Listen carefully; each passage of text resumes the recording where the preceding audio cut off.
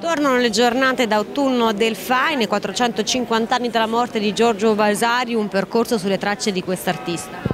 Sì, allora come fai quest'anno abbiamo proprio organizzato un percorso per la celebrazione del 450 anno dalla morte di Giorgio Vasari in linea col comune di Arezzo che organizzerà in tutto quest'anno varie mostre e eventi relativi a, questo, a questa celebrazione. Qual è l'itinerario seguito? L'itinerario seguito partirà dal Teatro Vasariano che è una cosa eh, di solito non vista, quindi comunque un luogo che il FAI riscopre, è utilizzato attualmente dal Liceo Musicale di Arezzo, comunque è il primo teatro che è stato realizzato ad Arezzo, progettato appunto da Giorgio Vasari insieme al Palazzo delle Logge.